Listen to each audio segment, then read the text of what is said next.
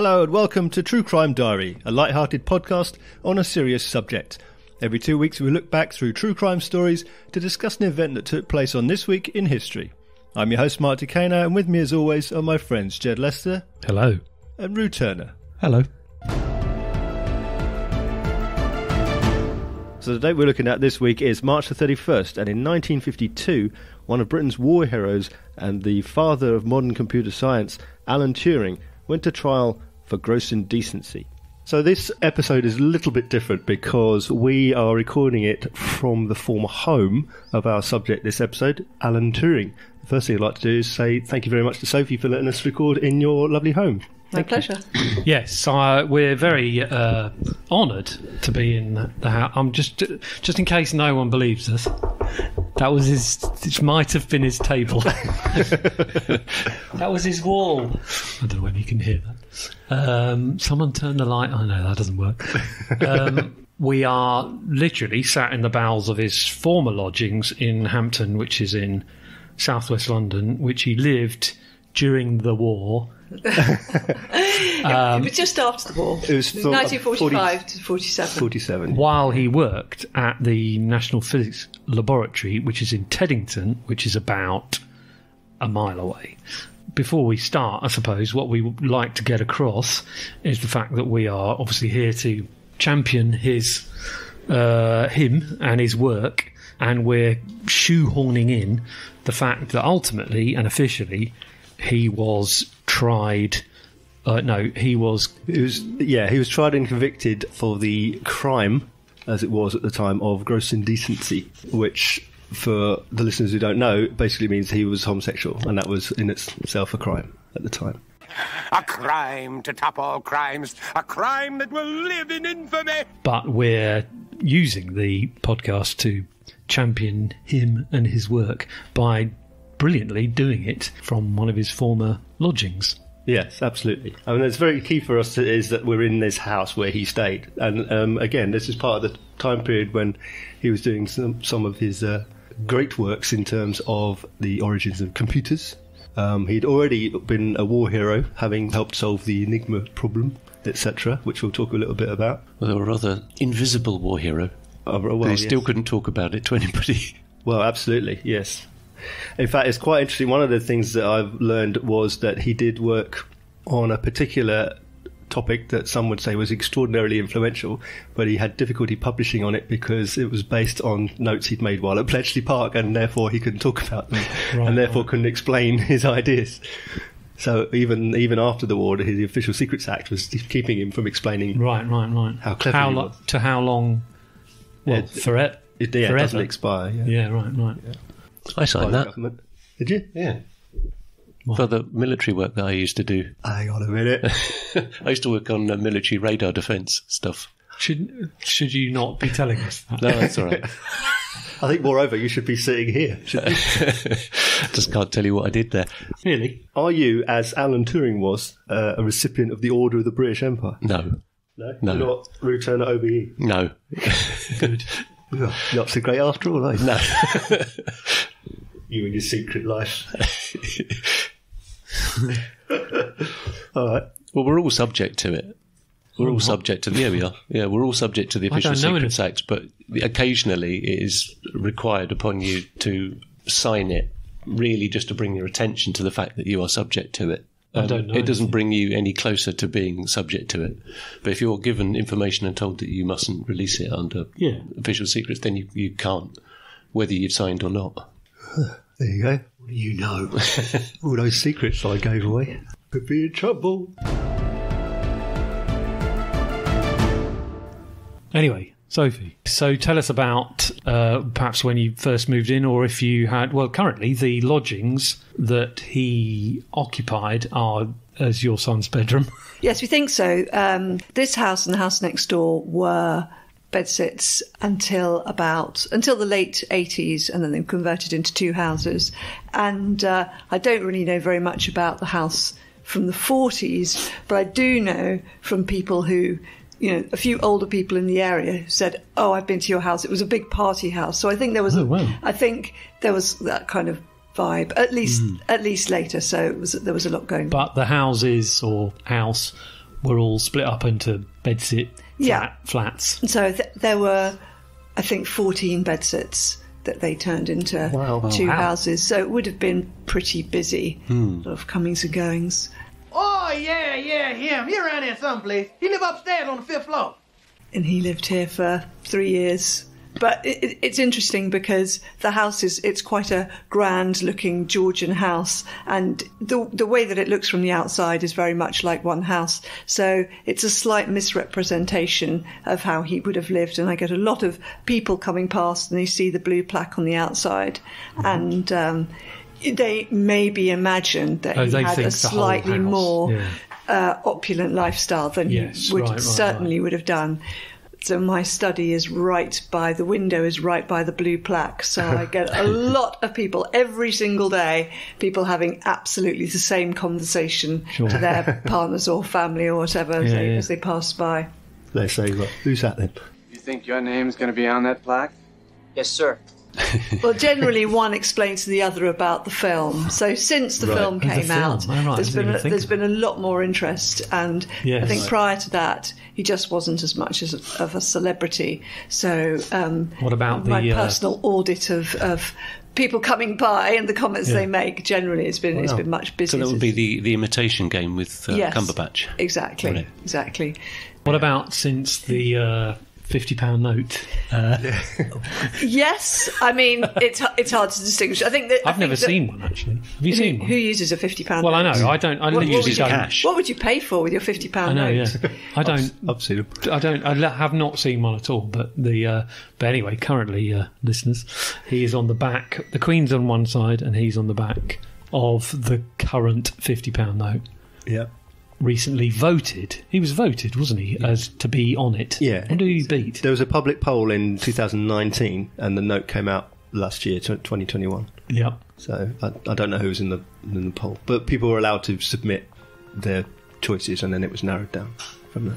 But most people very obviously have seen the film, Exactly, Which would have and, helped. And you know, that sort of enduring appeal. of course. Yeah, Um, yeah. When we moved in, uh, quite excited to have the the plaque and the association with Alan Turing, Hmm. and we bought a book of his work. Um, so now all the books that are available on Turing are all about Enigma. It's, it's Yeah. almost Yeah. all you can you can read about. Uh, and I think we managed maybe a page or two. I mean, you, you know, you, you were talking about he wanted to write as No one would have read it. I don't No. think it's uh, the maths Academics, is, maybe. is unbelievably Well, funnily in- enough, it's Mark- completely inaccessible. Mark so attempted to Yeah. do some research and I um, I was trying up. to think of a way of explaining, even for my own understanding, how I would how I'd explain what the uh, the Turing machine is, and I did some research and I didn't understand any of it. So I, I typed in Turing machine for dummies, and I, I didn't understand that either. So I basically had to distill it down to a single sentence. It's no, oh, it's complicated. Um, 1944, he would have been building Delilah and machines like that. It was a paper he wrote in 1944 which never made it into the war, but it was basically a voice encryption engine, which would have been a phenomenal upgrade from the Enigma if you could simply, instead of typing messages into Yes, a machine, yeah, copying out the code and then transmitting that, Yeah. you could just pick up the radio and speak. Yeah. And everything that you said would be deeply encrypted until it got to the other side. That would have been quite a quite a change. Yeah. I mean, it did work. But that was never used. It did work. It wasn't used. It did work. He tested it, didn't he, by with using one of Winston Churchill's speeches. He yes, encrypted it yeah. and then decrypted it. Wow, wow. So yeah, When he lived here and he worked at NPL, what was he doing? He was working on uh, st- the first stored program computer between 45 and 47, principally after Delilah. Mm-hmm. Um, and that's the thing, I think, the thing that he uh, he couldn't explain because of it, because it was based on his work at Bletchley Park. Because he wasn't allowed to. Because he wasn't allowed to. Yeah. So, so I said, "How do you work that that out then?" Um, I can't. I can't say. kind of scenario, yeah. Kind of have to pretend that it came out of whole cloth. Yeah, it's quite interesting because um, he basically he put forward what he, he could, and then he couldn't explain it or talk about it. But then smatterings of that work was then used and worked on when he went back to Cambridge on like a sabbatical. And while he was there, it kind of got worked on in his absence. And that's the things that the- the actual version of, that he'd intended wasn't built until after he died, years later. First fixed program, first stored program computer, which is basically the beginning of computing as we would understand it, I guess. Oh, it's amazing. You're a genius. Yeah, that was the what you called the A computer, or Yeah. the A machine rather. Yeah. The automatic machine. It's- And his colleague dubbed it the Turing machine. Yes. Um, it's the, it was called um, the the ACE, the ACE, Yeah. Automatic Computing Engine, but he referred to it as the A machine. Yeah. Okay, so the Turing machine. Obviously, there's Here we go. loads and loads of things that are named after him now. I mean, there's buildings and streets all over the world that have- bear his name. As I say, in my research to try and explain what it is, I couldn't understand it. So I've managed to distill it down to one sentence, which I've written down. So I've written here, um, it's a hypothetical computer that can calculate anything that is possible to calculate with as simple a machine as possible. It's an amazing machine. It's basically theorizing the simplest procedure, mathematical procedure for interpreting any possible calculation. Did you understand that? What- Had he invented? Has he just? Is that just He theorised it, yeah. or is he actually invented There is something? well, there's a prin- there is a principle. It could, Anna Sophie got it in her cupboards. it's probably yeah. It was, the idea came out of a paper in 1928 by David Hilbert, uh, which proposed that the sort of a challenge or question that was still open in was in 1934. was the- Yes. yeah, was um, Turing's paper, and I can't remember actually the, the basis of the the question, but what Turing did is he looked at the question really very literally, which people weren't doing. People were trying to describe it mathematically, and he looked at it very literally and and said, "This calculating machine must do this." So he said, "Right, well, hmm. what is this machine? Let's make." This theoretical machine that does this, rather than try to write an out, you know, a, a, a formula for it. What the hell are you talking about? Um, so he invented the notion of this machine, which had a length of tape extending to infinity either side of it, and it was looking down at one spot on this tape, and it could see the information on that spot. It would either be a Z, a zero, or a one, and it could then either read or write to that spot. So it could, if it sees a zero, it would then have an instruction set which would tell it either to leave that alone, delete it, or stick a one in it, and then either move to the left or the right. Hmm. And that's the fundamental of the Turing machine. It's the separation of the instruction set from the actual bit that does the work, which means that you can write a piece of software that would do anything. Turn off your brain, right? You can find online sort of videos of demonstrations of the Turing machine just adding two binary numbers together, and it's just Yeah. a, a state machine instruction set that just moves this pointer backwards and forwards. yeah. But it's it's a phenomenal idea. It's so simple. It's it makes it almost impossible to understand because it's so simple. It's such a simple concept. Turing published in 1936 his his paper was called On Computable Numbers with an Application to the Entscheidungsproblem, which is Hilbert's Yeah. work, which is basically means the decision problem, and it's a base is what you just described, and I'm not even going to try and do it. Hmm. But basically, Turing was theorizing whether the, the decision problem is whether whether a, a, a, a machine could effectively just keep processing forever and ever and ever, hmm. basically. Um, that machine has been described apparently as um, the most influential math paper in history. Yeah. Now, I'm not even going to try and move any further than that And- because and- it's numbers. And how old was he when he published that? 24. Twenty four. Oh, yeah. I'm, yeah, I'm nearly 50. I haven't published anything. Published I can't even understand what he wrote. Twenty four. Yeah. Was he an academic at the time? Is that Yes. Yeah. Yeah. He was already a fellow of King's College at 22. And when he was 15 and a half, his grandfather bought him um, or gave him a copy of Einstein's theories of relativity, the, the both of them, the, the 1905 and the 1915. Yeah. And he précéed them for his mother so she could understand it. Yeah. I mean, at 15 and a half. Yeah, and when he was um, when, when he was at uh, primary school, he would have been he would have been at primary school from between six and nine, and he, uh, one of his teachers there said that she'd she'd had clever boys and hard-working boys, but Alan is a genius Right. at that age. Yeah. he, he was being described as a genius. I don't think he seemed to see boundaries, like to his or limitations to his own intelligence or to the ability of other people either. He could, he, you know, he wouldn't be stopped by a problem because it's hard. He'd just he'd just attack it and move through it. you know? Yeah, yeah. Um, part of his part of his um, philosophy, if you like, was always to find the simplest way. So this is about the Turing machine, being the simplest way of calculating and bring it back down to its most basic things. So I think yes, if he, if he encountered a problem that he couldn't find, he would basically just try and disassemble the problem and find out the the simplest course of action based on the root of it. Yeah, and because he had a, an early, fairly strong engineering brain as well as being very strongly mathematical, Yeah. I think that stood him in good stead by the time he got to Bletchley because he understood the the physical properties of the electronic machines that he was building as well as what they needed to do and what they needed to calculate. Yeah. At 1939, um, when he been- went back to Cambridge, he would go to lectures uh, by Wittgenstein, who was uh, one of apparently acknowledged as one of the 20th century's greatest philosophers. He'd go to his lectures, and Wittgenstein would, would lecture on the foundations of mathematics, and Turing would argue with him. He'd have long arguments with him about mathematics. So I thought that's fascinating because you've got this great, great philosopher who's teaching mathematics, Yeah. and then tu- the you know Turing, still relatively young, is saying no, no, you're wrong.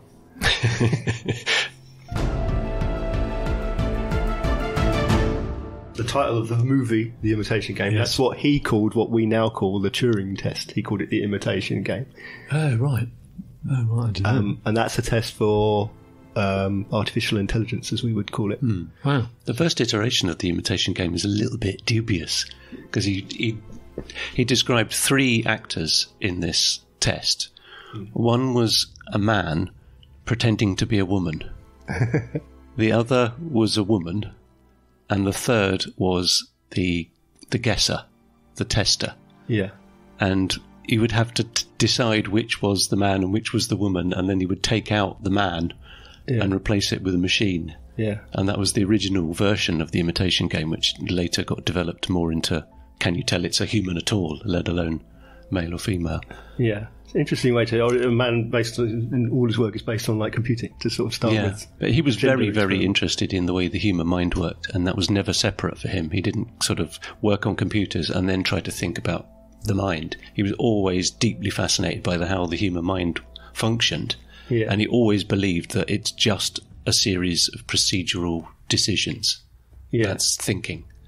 And you can make a computer do that. Right. What I like about it is it's not the, the idea is the guesser um, asks questions usually in, in written form, so you don't get it's not about determining who- whose voice is. is. Yeah. and he asks questions, and then it's about whether you can tell if the respondent is using uh, human responses. Not about it doesn't matter if they're right or wrong, because you would expect the computer to give the right answer. But if they give a, an evasive answer, perhaps that would be more human than, than the computer would do.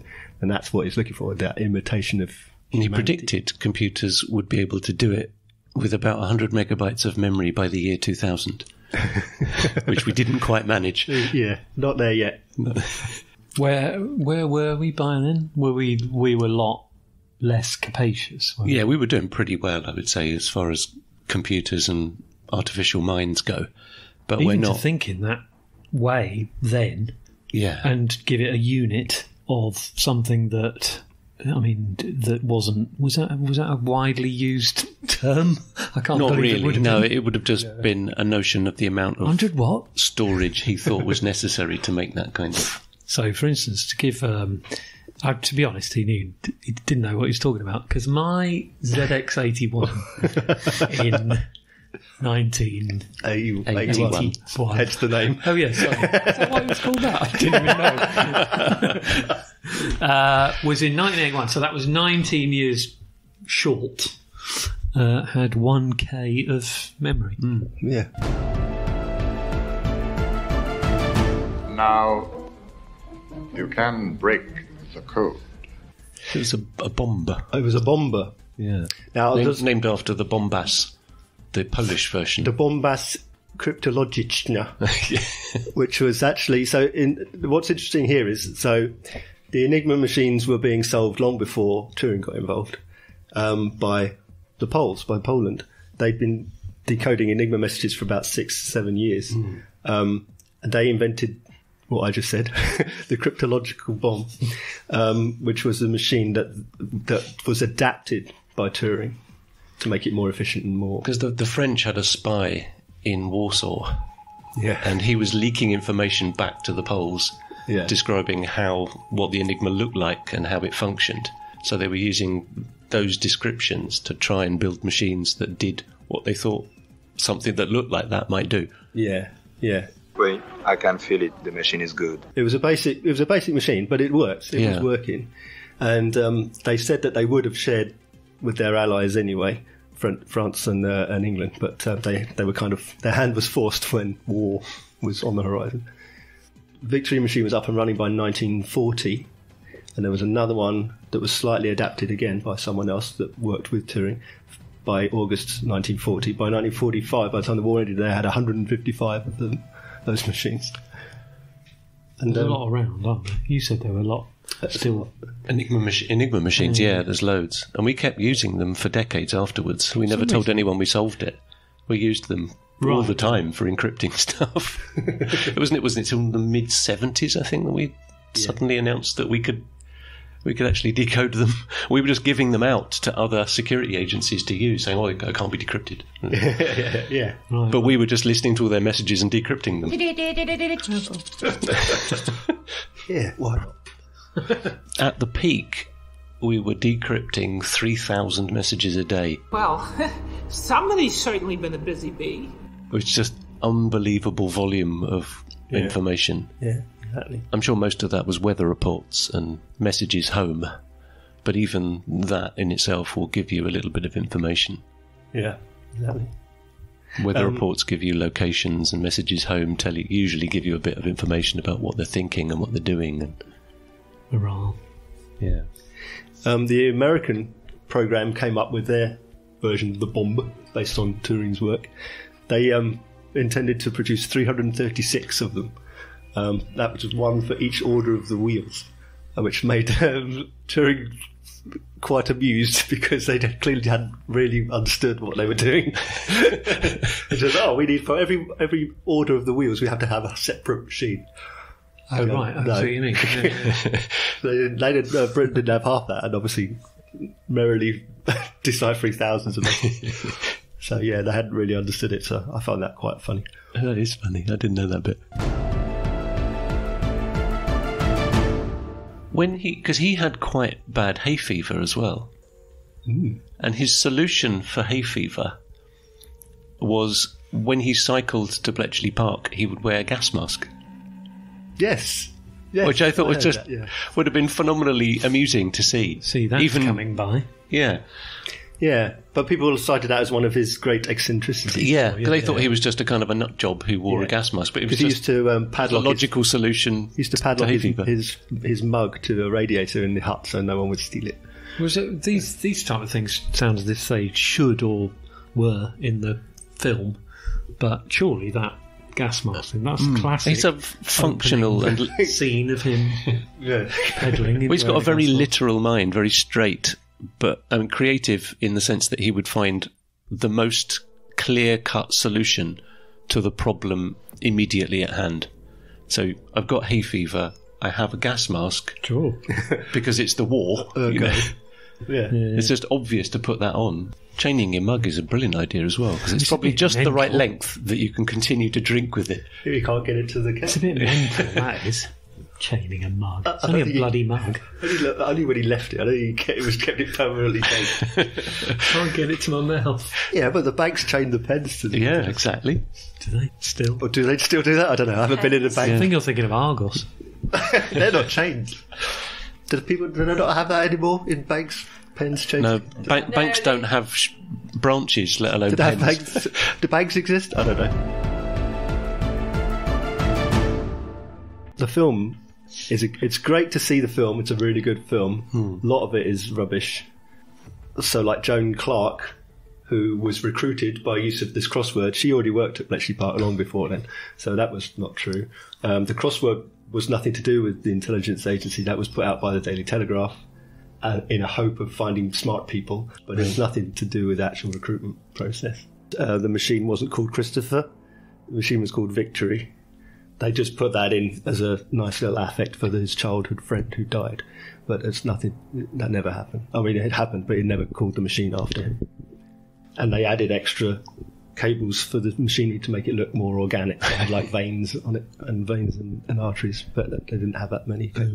In the movie, uh, Turing outs a Soviet agent, but although the Soviet agent was working at Bletchley, um, he was in a different uh, group from Turing. They probably never even met, let alone Oh, right. discovered his uh, his uh, treason. But also, um, he wouldn't have had anything to blackmail Turing with. Yeah. Because Turing was openly homosexual, wasn't afraid of anyone knowing it. Yeah, true. I mean, so that's the secret he really needed to have kept, arguably. Yeah. The war was the only secret he did keep, really, was his work during at Bletchley. Our job was to crack Enigma. Well, we've done that. Now for the hard part keeping it a secret. So let's talk then about Turing's trial and conviction. So we're talking about in 1952, uh, when Turing was 39, he started a relationship with a 19 year old man named Arnold Murray. And on the 23rd of that month, Turing's house was burgled. And Murray told Turing that he and the burglar were acquainted. So when Turing reported the crime to police during the investigation, he acknowledged he had a relationship with Murray. And that was enough because homosexuality was a criminal offence. Yes. So That was it. He did, it was just one was it. bloke saying, yeah, that was enough.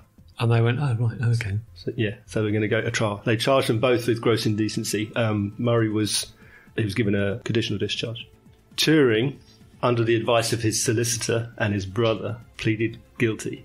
So Yes. they went to trial. He pleaded guilty to the charge, and he was given a choice. Basically, you can go to prison or you can have a treatment Yeah. of um, diethyl stilbestrol, Hmm. which is basically synthetic estrogen. To, Tr- to, in a bizarre attempt to make him. It's a chemical castration. Mm, yeah. Yes. Yeah. effectively, yeah. It's basically it's, the plan is to reduce the libido, but it basically Yes. eff- eff- effeminizes Tim, if you will. He grew like breast tissue, and Really? yeah, yeah. It's just inhuman, isn't it? It's completely Yeah. disgusting. It wasn't, wasn't the trial the first day of Queen Elizabeth's reign or something funny like that? Was it? That was fifty-three. Coronation was fifty three. I think it was late fifty two, not early fifty two. Okay. It was a year that the crown changed hands. You saying she was involved? she was in a, in a different way. She became involved a lot later. She officialed a. Could she- She gave a Did she par- pardon. pardon him? Yeah. And of course, she ended up on the other side of the £50 note. She did. There you yeah. go. So they're t- t- together at last. Together at last. Um, Some would say would, they're in cahoots. You know? Why would she be the one Because she's the queen. the pardoning? Should have been the queen. yeah, I know, but isn't it kind of law that pardons things?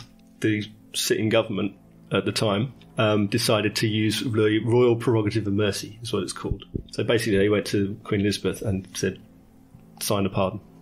Gordon Brown, who was Prime Minister many years later, I'm not sure when he was, was he Prime Minister? He was in the noughties. Yeah. Yeah, it was Gordon Brown. he said, uh, Thousands of people have come together to demand justice for Alan Turing and recognition of the appalling way he was treated. While Turing was dealt with under the law at the time, we can't put the clock back. His treatment was utterly unfair, and I'm pleased to have the chance to say how deeply sorry I and we all are for what happened to him. So, on behalf of the British government and all those who live freely thanks to Alan's work, I'm very proud to say we're sorry. You deserve so much better. That was his statement. You statement. don't get statements like that. No. It's unreserved without caveat. Yeah, yeah, yeah. Yeah. It's Yeah. pretty seismic that one, wasn't it? Yeah. Obviously, That's a full remember it. apology. Oh, yeah, yeah, yeah. completely. Yeah, and in fact, they they went further because in in um, 2016, the Policing and Crime Act went through Parliament, and it's now described as the Alan Turing Law. And it basically it, it was a, it's an amnesty. It retroactively pardons all men who are convicted convicted of um, homosexual acts. Right, right. So everybody Um, has been uh, Oscar Wilde? yeah. I didn't realise till I started researching him what a keen runner he was. I mean, like a, a proper Oh, yes. runner. It's like a I knew that. Yeah, yeah. yeah. But while he was marathon? while he was living here, he ran his fastest time in a cross country marathon. Um, in I think it was in Walton. Anyway, he yeah did it in two forty six oh three. Yeah, Which- didn't he? Didn't he outrun his own club? Um, They realised that he Well, he was the fastest runner when he ran past the ball. he came fifth in the race. In that fourth or fifth, yeah. Oh, right. But that was his fastest time. Wow. However, in nineteen in the in the Olympic Games the following year, yes, the winner of the marathon was only eleven minutes ahead of Turing's time. that's right. So I mean, that's the kind of level of running that he was at. you know. yeah. Did and- he not try out for the Olympics, or was he? Yes. Yeah. He tried for the 1948, I think. Right. And also, he was only 11 minutes slower than the person, the Olympic runner.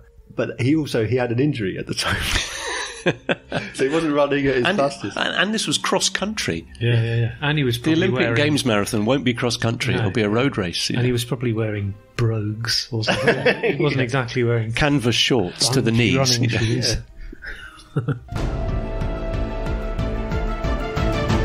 Have you got any other personal? So, amongst the stream of people that come past Yes. daily, there's been a few notable, Oh yeah, yeah. Oh, not famous, but no. just notable incidents. Oh, yeah. Uh, so I came home one day with, uh, to find on my doorstep there was a gift. I think it was a an apple. pot plant. It wasn't an apple. It wasn't an Foreshadowing. apple. A pot plant on a card, and Yes. it was to Alan Turing, Right. and it Oh. was signed from the people, Wow. Oh wow! which was interesting. Uh, I had another chap who knocked on the door, and he said that his grandfather had been had gone to school with Alan Turing and had been at Cambridge with him. And he was getting closer and closer to the front door to the point where he actually poked his head round and he asked if he could come and have a look round. And I said no. Uh, Quite right. So on the 8th of June 1954, at his final address in Wilmslow, um, Turing's housekeeper found him uh, dead in his home. Um, he died, uh, age 41, and the cause of death was cyanide poisoning. Now, it was ruled as suicide, but as always in these cases, that's been questioned quite deeply. Those who say it was probably a suicide um, cite the fact that there was a half-eaten apple at the side of his bed, um, and his, uh, he was re- apparently reenacting the scene from his favourite movie, Snow White and the Seven Dwarfs. A poisoned apple.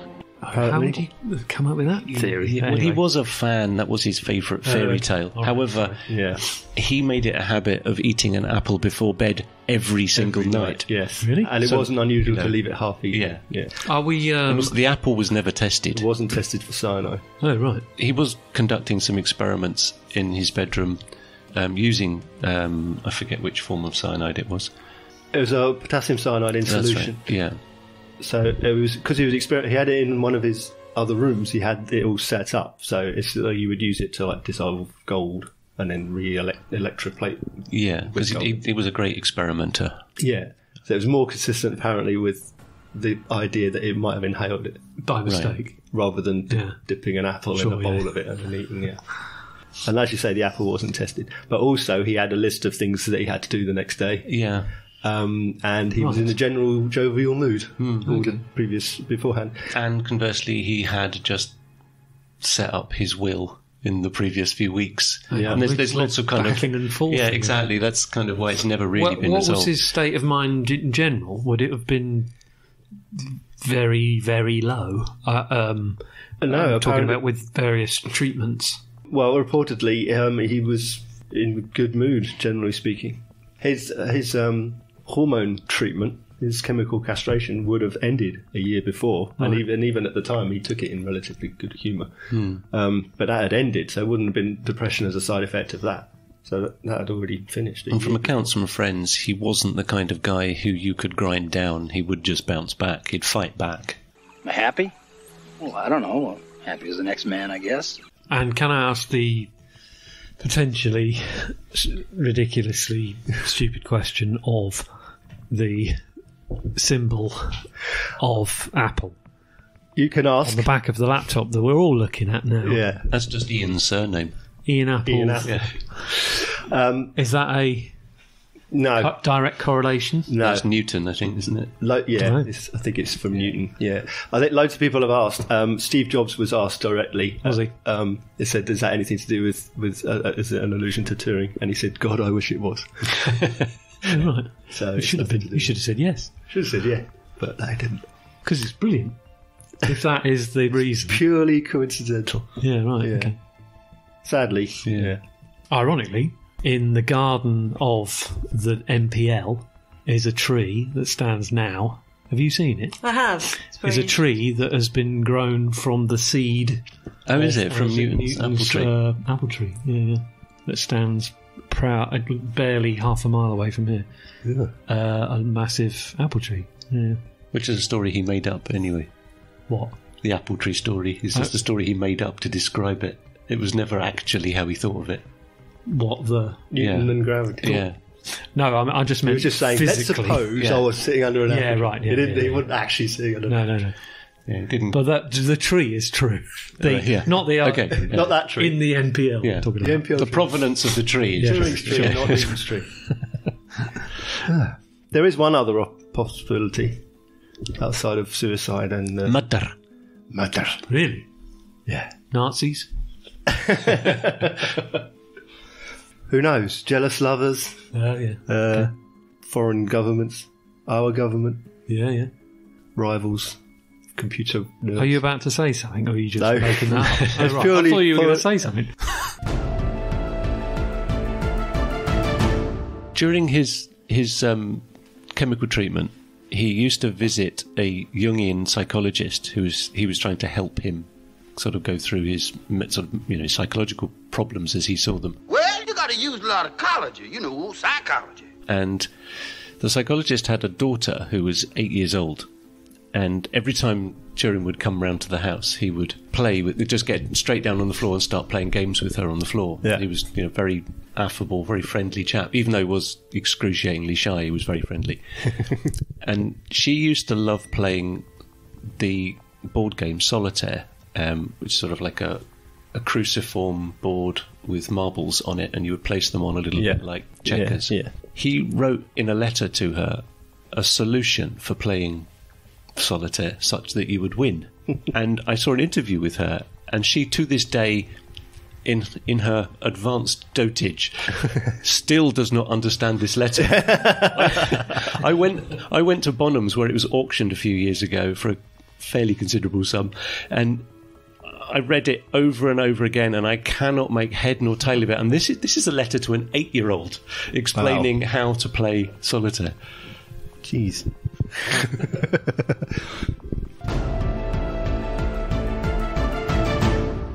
So, what in this house? Not that I know what's in this house. That's his table. Um, what in this house could be directly connected to his work?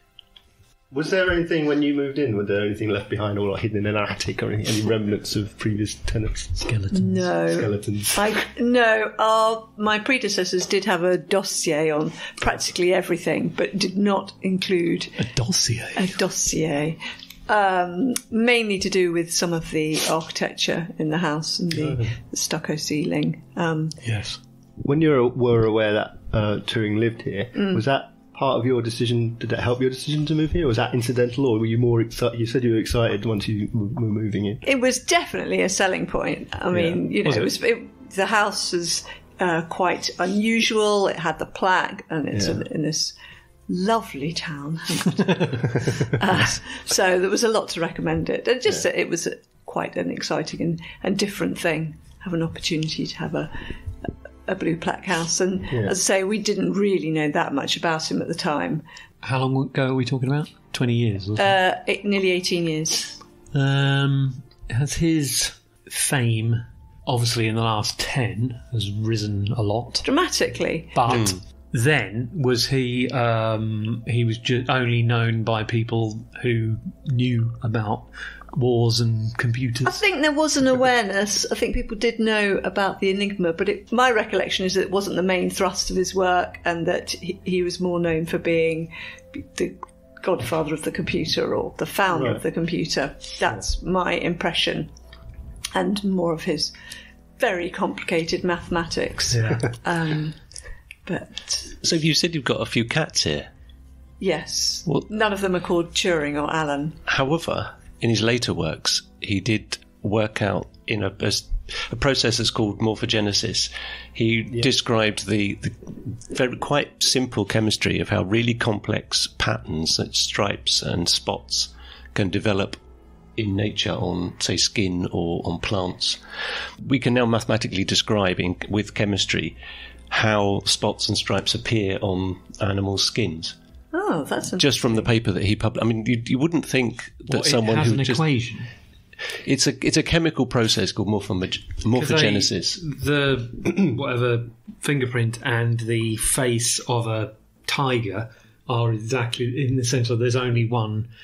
As every face of a tiger is unique, they're, they're not the same in, in the slightest. Well, not the structure of the face, but the pattern, The design, yeah, Yeah, the, what I the, yeah. yeah. The, Is that the coloration develops. Is that then something that breeders use?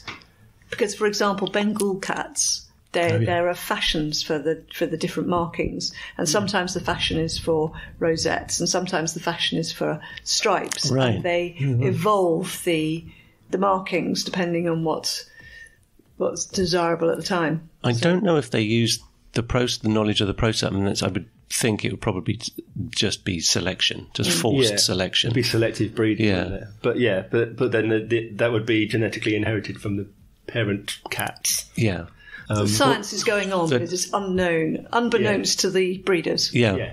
yeah. Exactly. And he simply describes the method in which those patterns develop within the skin, which is like, you- it's How interesting. mathematics and logic and biology and chemistry as well. yeah. Anyway, back to my question. Yeah. Well, that's that was my answer. Oh, was it? Yeah. No, no, you idiot. The what is Cats. in this house? Yeah, house? cats. Cats. He invented cats. what else apart from cats? Obviously, I'm aware. Just pretend this is any house of what Well, computing. what is power. Yeah. in people's houses today. anything with a computer Yeah. in it. Anything Anything, with with, a computer in it. processing. Right. uh, okay. yeah. So anything, yeah. Smart devices. Yeah. Yeah, home appliances. Can't Can all be the family tree. the processing. Anything that's got a computer in it now that's that has Yeah. that processing will be originated. And we're talking to him, not his uh, dozens and dozens of equivalents of him. Well, it's the descendant descendant yeah, work. in its yeah. in its earliest embryonic stages. Sure. it would be He didn't on. invent the iPhone. No, But, you know. I know. Yeah, yeah. but the iPhone He would have set, invented. set the grounds for it to be able work, to be yeah. invented. Right. Okay. Yeah. yeah. There you go. Yeah. Blimey.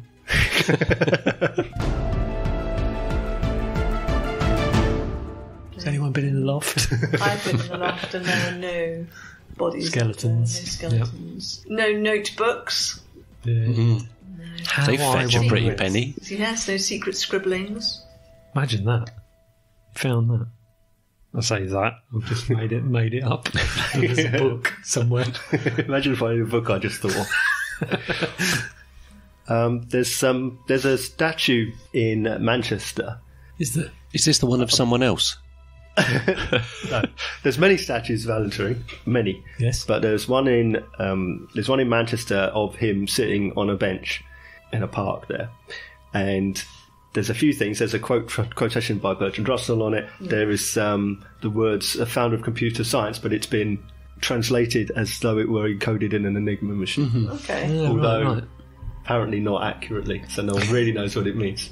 Is it symbols and It's just Something. groups of like five letters. Um, but the sculptor who created the statue, um, he buried his Amstrad computer under the plinth at the bottom in tribute to the uh, father, the godfather of modern computers. So somewhere in there is a That's probably terrible the best place PC. for that. Yeah. isn't? I was going to say. somewhere there, Alan it's a Turing. really piece, piece of complete rubbish. It's the, Yeah, exactly. it's the most useful it could be. Yeah. buried. yeah, yeah.